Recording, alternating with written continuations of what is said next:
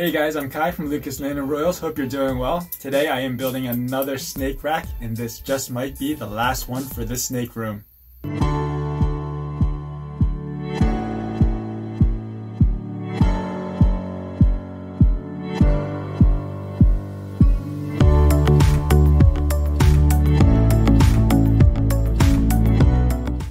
Guys, my snakes are running out of tubs and this room is running out of space. But I'm gonna build one more rack and I'm gonna use this as an opportunity to really provide more detail around the build, not just of the rack skeleton itself, but also I get questions around the base, the rolling base.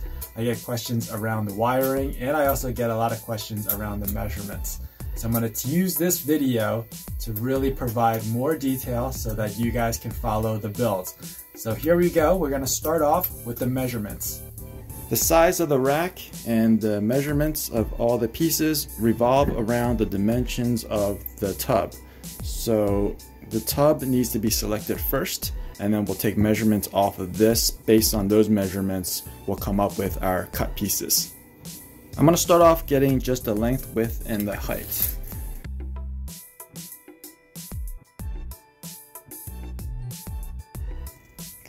After getting the length, width, and height, I round up those values just to give myself some wiggle room. I add about one quarter to the length and the width. As for the height, that needs to be precise. I add exactly 1 8 inch, which will provide a gap for airflow. I've gone ahead and calculated my cuts based off of the tub size that we got earlier. So we'll need two pieces, which accounts for the top and bottom, and the length is going to be 22 and a half, which is just like what we got up here. Now for the width of the top and bottom, I've simply added one inch to the width of the tub size making it 15 and a half, and that's the account for the thickness of the material. The material is going to be half inch PVC sheet. For the inner shelves, the same length, 22 and a half. Now for the width, I kept the 14 and a half. Again, we're using half inch PVC material. Now there's going to be seven inner shelves, plus the top and bottom, That'll give us slots for 8 tubs. For the legs, it gets a little bit tricky. We're going to need 4 legs. I'm going to calculate the height of the legs here. First we take the height of the tub and we're going to multiply by the number of tubs, which will be 8 in this case. Then we have to add in half inch for the thickness of the material. And like I said, there's going to be 7 inner shells. So if you put this into a calculator, the end result is 46 and a half inch. Now the width of these legs should probably range around four and a half and up. Um, I typically keep mine at four and a half to six. I'm going to be cutting these legs out of some scraps, so I have to go and check to see what I have. But the height is going to have to be 46 and a half. I will be using lumber part of the build.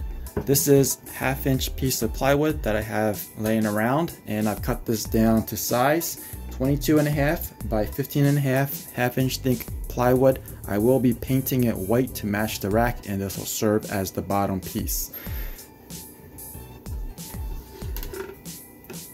Also using lumber, I'm going to be building the base. So the base here is 2 by 4s these are cut to 15 and a half.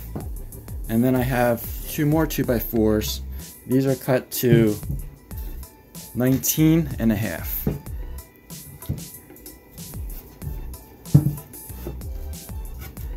So now we have something like a picture frame and the total width is 15 and a half, total length is 22 and a half, which happens to be the same as our rack.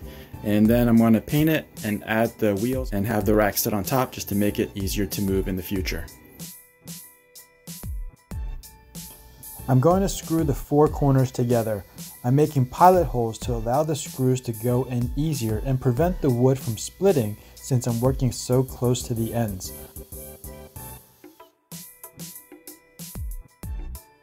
The screws are just 2 inch outdoor screws. You can even go a step further and use deck screws. Both types have a coating that prevents rust.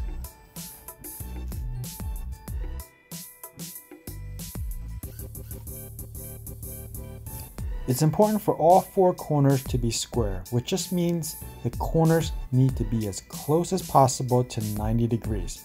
I'm pretty good at eyeballing it, especially since this frame is so small, but you can use a right angle ruler or a corner clamp.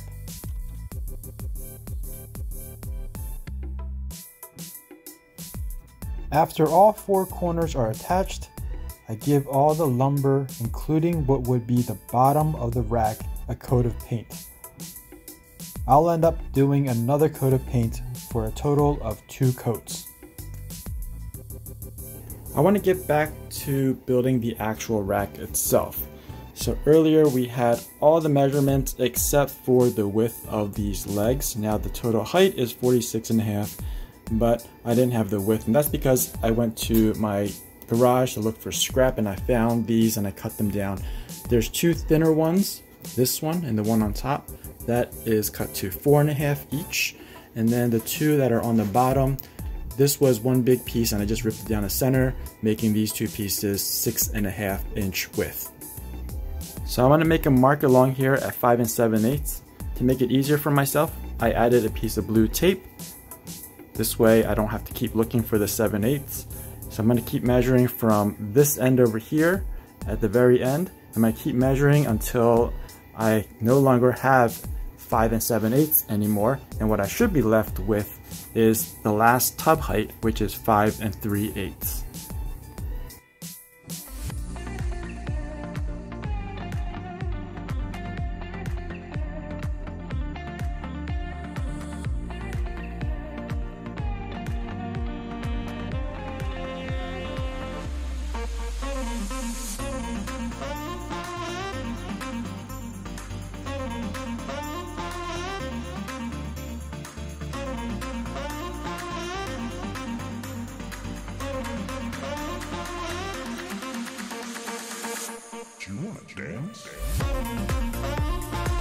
Rather than measuring out and marking with the ruler, I use the first one as a template, line up another piece and transfer the marks over with a pencil.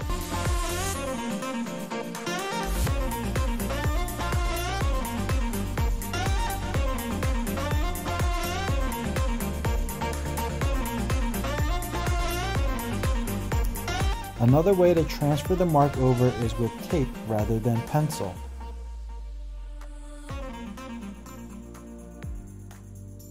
Line up the tape's edge to the mark. The tape should be long enough to bridge both pieces, then simply cut the tape down the center with a blade. Now I have two pieces with marks that are mirror images. Drawing arrows help me remember which side to install the interior shelves. I'm at the point where I can start assembling the rack. So what I've done so far is just dry fit a couple of the pieces together. So over in this corner, these are temporary supports. So that one shelf actually doesn't belong there. It's just there to hold it temporarily. And I'm using these corner clamps, which I really like using as an extra set of hands. Over on this side, this is going to be my top. So that actually is going to be exactly how you see it. And now I just have to fasten everything together. For fasteners, I'm going to use these flathead Phillips screws and they're going to require a pre-drill with a 7 64th inch bit and a countersink hole with a 1 quarter inch bit. I start by making pilot holes, then change out the bit and make countersink holes. The screws go in guided by the pilot holes. The screw's head seats perfectly into the negative space created by the countersink holes. The screw heads sit flush with the surface of the PVC material.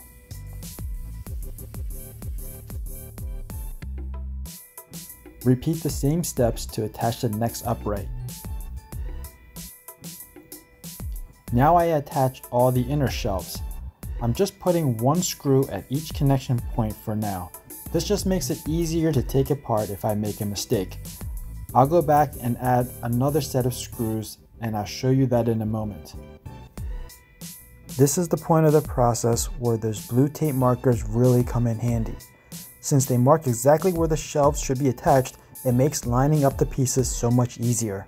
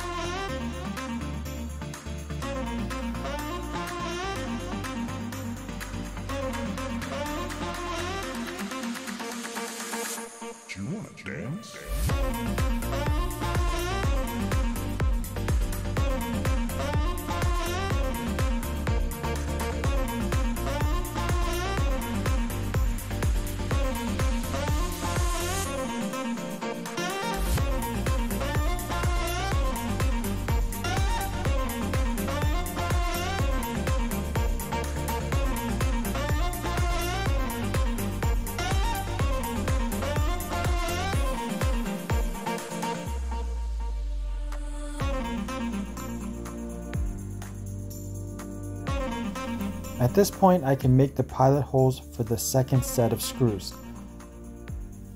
I like this process because I don't have to change out the bit so often. I make all the pilot holes, then change out the bit once, and make all the countersink holes.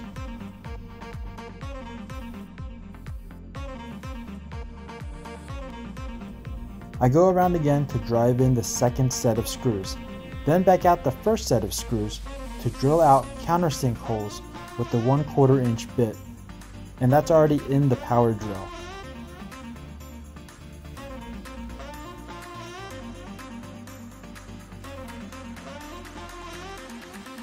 The paint on the bottom piece has dried, so it's time to attach it just like attaching the top.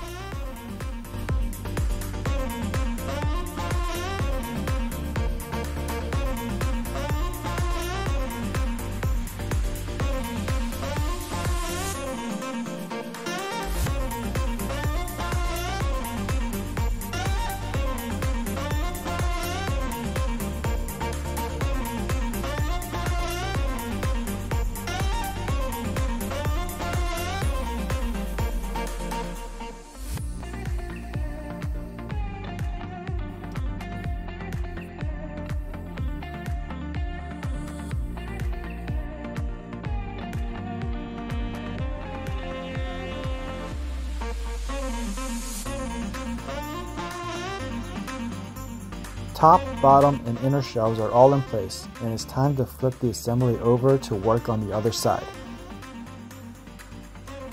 More pilot holes, more countersink holes, and more screws. Pretty much exactly what I showed you earlier. So let's move on to the base now that it's painted and dried. I have four wheels that swivel, two of them have locks which will be attached on the side that will be the front. They each get attached with three screws. I create pilot holes just to make it easier for the screws to go in. Notice the wheel plate bridge the joints which will further strengthen the base at its corners.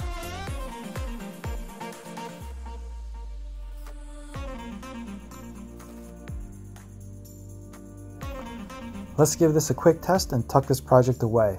I'll come back and finish it later.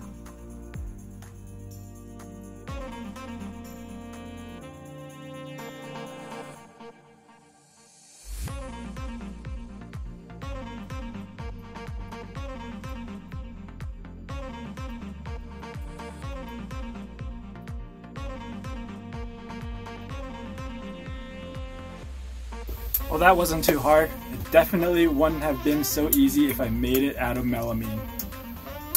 So that about wraps it up for this video. I am going to be releasing a part 2, which is going to be all about the heating component. I'm going to have a ton of details in that one, which is why I'm breaking this up into a two-part series. So you don't want to miss it. I'm going to be wiring up a STC1000, which is the heat controller that I have been using.